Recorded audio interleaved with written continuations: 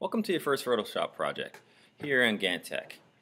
Our first Photoshop project we're going to use a couple different tools, get used to the Photoshop environment, workspace, and then create some different country flags. So first up you can see I have the project that we're going to be working on pulled up from our class page. You see we're going to create Costa Rica and some other countries in Photoshop using a skill called the marquee tool um, in Photoshop. But let's talk about Photoshop first. So this is Adobe Photoshop. I'm using the Mac version of it. This is Photoshop CS6. Let's go through the overview of the workspace. So you can see from Photoshop, very top, they have the what they call the application menu. I have my file, edit, image, layer, all these different options. Right now they're grayed out because I don't have a document open. But let me just create a basic document as an example. But now you can see these are, I can print, edit, image, layer. This is your applications menu. And throughout the year you'll get used to um, using a very a lot of these. Also on the Photoshop workspace, you can see right here, this is called the options area. And this options area goes for tools. So as I click, this is my tools bar, which I should have mentioned first. You can see I have my move tool and all these tools that you'll use to create your documents, your digital designs. And as I click on different tools, you can see this option area changes. So as I change my tool, this area here in the workspace changes as well. So I have my applications bar, I have my tools bar, I have my options area that ties along with my tools bar. Then I have my document that I create on. Then on the right side, I have a bunch of panels. The main panel we'll talk about is the layers panel. So how Photoshop is built is on layers. Um, what's on the bottom layer can be layered on top. What's on top hides what's on bottom. You can group a bunch of different images using layers and you'll see that throughout this year. So I have my layers panel. I also have my adjustments panel. You'll get to use that. I have styles. I have my color swatches. And all these panels you can collapse by simply double clicking on them. I normally leave my layers panels big. You can also see here you have different workspaces that you can do. This is essentials, but I, if I wanted to work in 3D, you can see 3D shows me the different panels that I need for 3D or motion. You can see they have a timeline where you can create animated GIFs, those type of things. I'm going to leave mine on essentials for now. This is just a basic overview of Photoshop. And in the project, you'll get to see, um, we'll start to create some things. Again, this is the applications bar. You have your options menu that ties along with your toolbar on this side. You have your document. And On the right side, you have your panels that you will interact with. So let's get started with our first project, creating flags. So this is the document on our class page. I can click this to blow this out a little bit bigger. First thing we're going to be making is Costa Rica. So I'm going to show you how to make Costa Rica. And the skills I teach you to do Costa Rica, you'll be able to make the rest of these flags. Germany, Russia, Thailand, Italy, Belgium, and France, and Ireland. So Costa Rica looks like this. It's a blue bar at the top, a blue bar at the bottom, two white bars, and a red bar. So in Photoshop, to create Costa Rica, I'm going to close this document that I had previous. I'm going to go to File, New. For the name of the document, I'm going to call it Flags. Now for the width, I want it 600. And for the height, I want 400. I want to make sure that this says pixels, not inches. Then I have my resolution. For we're going to leave it. I'll do 72. Print quality is 300. 72 is standard for web, but we'll go ahead and do 300. That's fine. And then you can see my color mode is RGB color. I want to change my background to transparent and I'm going to click OK. So here I have my window. It's 600 inches, 600 pixels by 400 height. And you can see over here I have my first layer. It's called layer 1.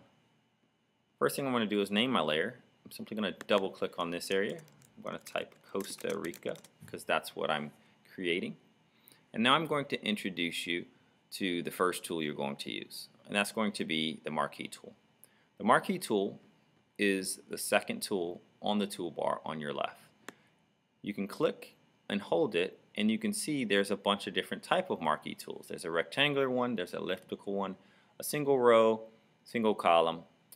And anytime on the toolbar when you see this little triangle area right here that means there's more options that you can select for that tool. So if I click here and hold it, you can see I can select the elliptical marquee tool.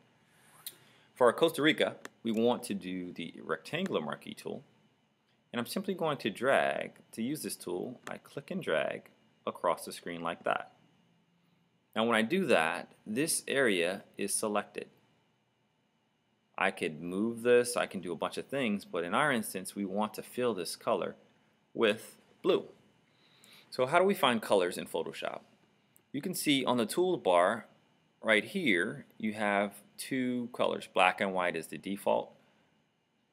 I can change this. This is my foreground color and this is my background color. Another tool tip, when you mouse over a tip you can see it'll tell you the name of that tool. If I wanted to change my foreground color I can click on it then I can click on it brings up my all the colors imaginable let's try to get that color there and I click OK. Now I can fill this area a couple different ways.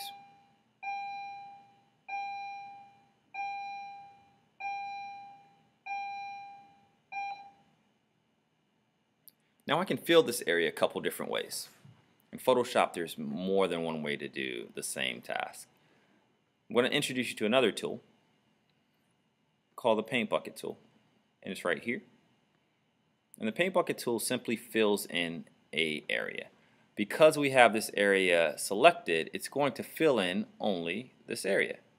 So I'm going to click on the paint bucket tool and if you don't see the paint bucket tool on your toolbar, you might see this instead, but it's the tool right underneath the eraser. And I click and hold it. Remember, anytime it has this little area, there's more options, and I'm simply going to go to the paint bucket tool. So now the paint bucket tool, I'm going to fill, you can see my options bar, it says foreground, so I'm going to fill it with that foreground color. I simply click inside of there. Now, you can see I'm getting closer to Costa Rica. I have blue at the top, I need to do blue at the bottom. I'm going to go back to Photoshop. I'm going to use my two tools I know how to use. and click on my rectangular marquee tool. I'm going to drag across I got an error there, so let's do it again. And then I'm going to do the same thing. I'm going to select my paint bucket tool here, and I'm going to fill it in. If I want to deselect, I can simply click one time with my marquee tool and it deselects that area. So now, you can see I need my red area inside of there. It's a little bit thicker, so I'm going to come back over here start out here, going to estimate this something like that.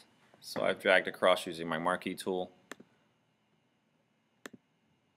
Select red. Actually, I want a true red. I'm going to use my paint bucket tool right here and I fill that in. Then I'll simply click to deselect. Now the last part I have this checker part that means it's clear or, or empty. Whatever's this is shown over, it's going to show. But I want to fill that in with white. In order to fill it in with white, I can click on this. But I see white is my background color. They have this little area right here where you can switch between foreground background. Since white's already there, I'm going to switch. Click on my paint bucket tool. I don't need to select anything because it fills in solid areas. Since there's blue up here and red up here, the solid area is all of this. So I don't need to use my marquee tool to fill in white. I simply can click there and you see it fills in white. And do the same thing and it fills in white. And with that, we've created Costa Rica, the Costa Rican flag. Again, the tools that we used in this lesson was the marquee tool, second tool here.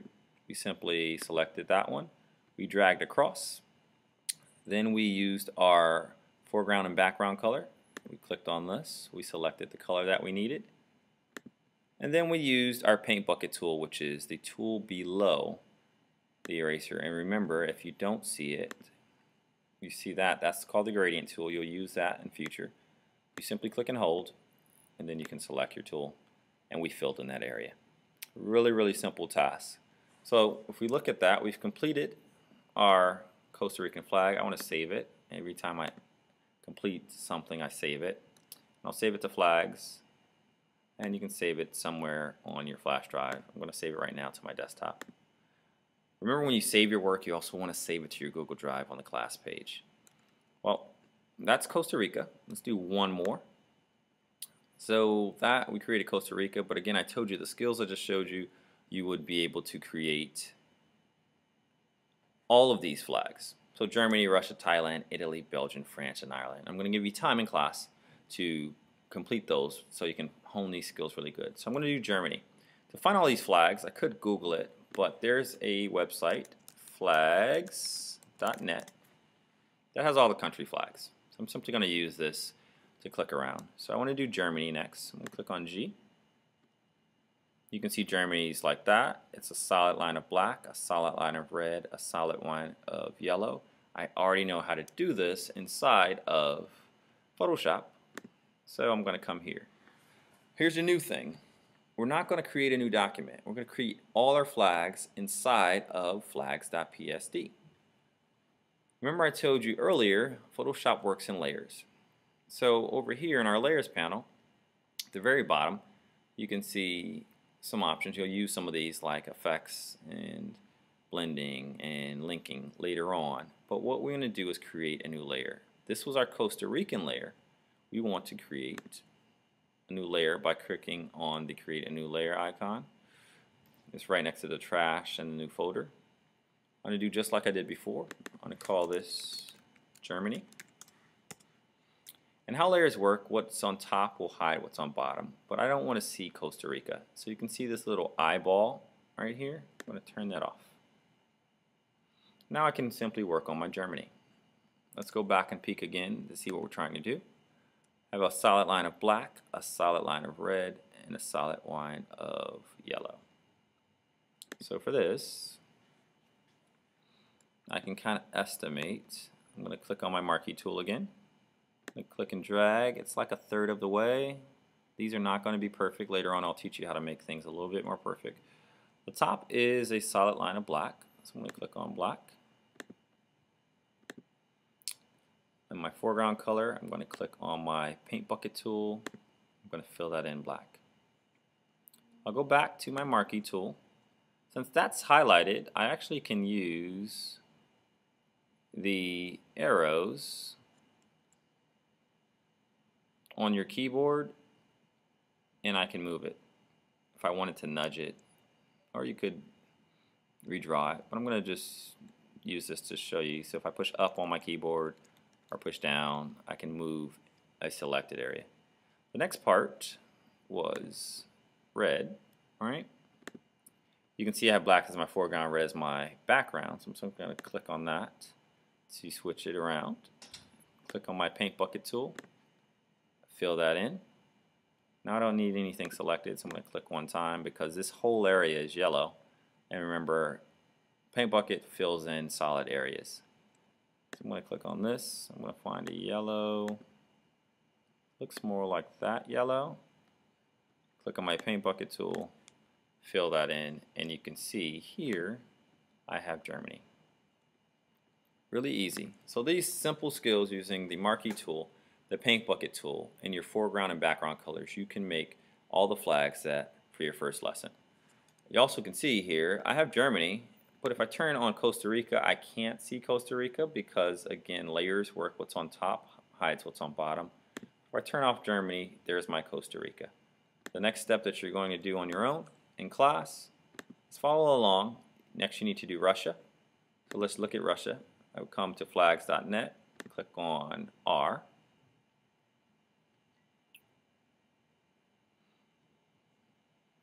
You can see Russia looks like this white, blue, and red, you know how to do that. Again, the first step you want to do, create your new layer, rename that layer Russia, and then you can use the tools. This is your first lesson. You can complete the rest of this on your own.